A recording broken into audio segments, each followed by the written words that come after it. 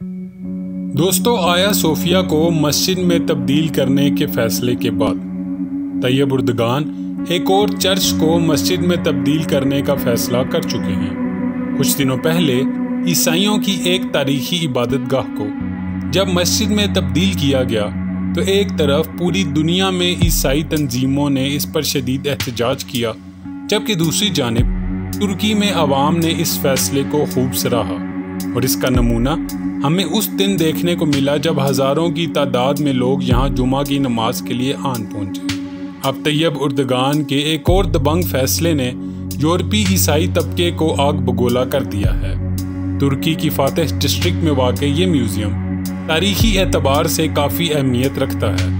इसको मस्जिद में तब्दील करने के फैसले से जहाँ मुस्लिम ममालिक की तरफ़ से एक अहम पैगाम गया है वहीं तैयब उर्दगान का नज़रिया भी काफ़ी वाज हो चुका है।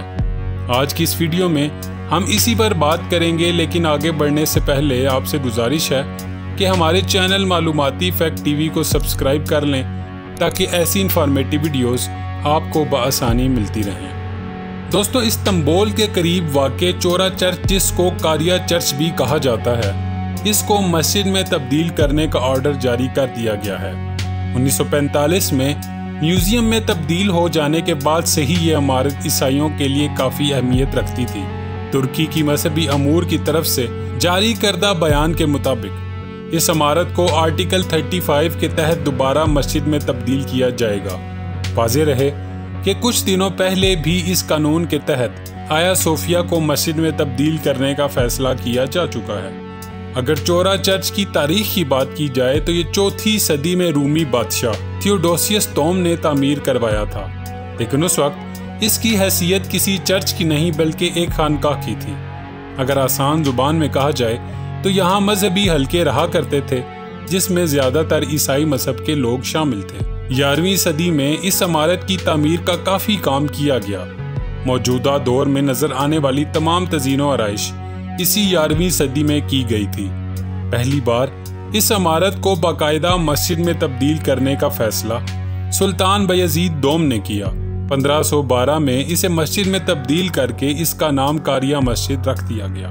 लेकिन 1945 में एक दफ़ा फिर इस मस्जिद को म्यूज़ियम में तब्दील कर दिया गया, जिसके बाद 2005 से शुरू होने वाले इस मामले को आखिरकार अब हल कर लिया गया है। नवंबर 2019 में तुर्किश काउंसिल ऑफ़ स्टेट की जानब से इस म्यूज़ियम को वापस मस्जिद में तब्दील करने का फरमाननामा जारी किया गया है, जिस पर अब तैयब उर्तगान ने दस्तखत करके इसे मस्जिद में तब्दील करने का वाज हुक्म जारी कर दिया है। दोस्तों, हम यहाँ एक चीज़ का ज़िक्र ज़रूरी समझते हैं कि आया सोफिया के बाद इस म्यूज़ियम को मस्जिद में तब्दील करने के फैसले से तुर्की को काफ़ी दबाव का सामना करना पड़ सकता है। और ये सब ऐसे मौके पर हो रहा है जब एक जानब बहिरा रूम में गैस की तलाश के बायस तुर्की के ग्रीस, मिस्र और फ्रांस के साथ ताल्लुक पहले ही कशीदा हैं और फ़लस्तीन के मामले पर तुर्की पहले ही इसराइल के खिलाफ वाज मौक़ अपना चुका है। इस फैसले को ग्रीस हकूमत मजहबी हलकों में इंतशार फैलाने के मुतरदफ समझती है, जिसका ज़िक्र ग्रीक फॉरेन मिनिस्ट्री अपने एक बयान में कर चुकी है।